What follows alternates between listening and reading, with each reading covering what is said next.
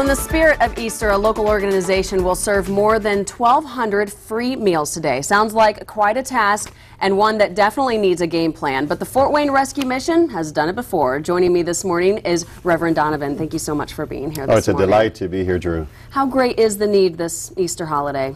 You know, if uh, the need continues as it did at Thanksgiving, last Thanksgiving we served over 3,100 uh, meals to our community, and so people are just coming out of the woodwork because of the economy, because of the strain on their budget, and so it continues to grow. So this particular Easter, we are preparing ourselves for about 3,000 individuals. My goodness. And you will be serving these meals and more than just down at the rescue mission. You have different ways of doing that? Yes, we'll be serving uh, about uh, 1,500 meals at the rescue mission in our chapel area. We also have a takeout area, so if a person is homebound and we have individuals who are their contact, they could actually come and receive those meals in our dining room facility. Uh, we also have churches and other individuals in our community that will partner with us in taking meals to, to the most needy among us. Why is reaching out on these holidays so important? I think it's all about families. When you think about Easter, we think about individuals celebrating the resurrection of our Lord Jesus Christ, but often people would do that within the context of family. And at the Rescue Mission, we have established a community of compassion.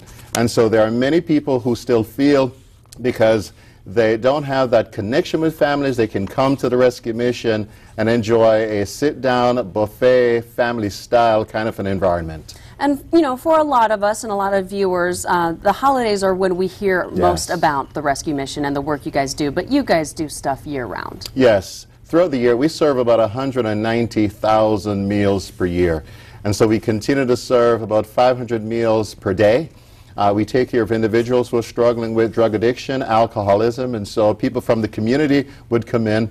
And we have a facility called the Charis House, Women and Children, and so that is a residential facility. So ministry continues 365 days a year. A lot of work, and I'm sure it's something you could really benefit from help. How can people get involved? I would say just call the Rescue Mission or get to our website at rescueministries.us. And we'd be more than happy to connect you, whether it's serving a meal, it's mentoring a child, working with a gentleman in our program, or a woman. Uh, we can use help in just about any way that you are gifted. Okay, Donovan, thank you so much for being here. Happy Easter to you. God we bless you, too. appreciate you coming in this morning. Amen. Thank you.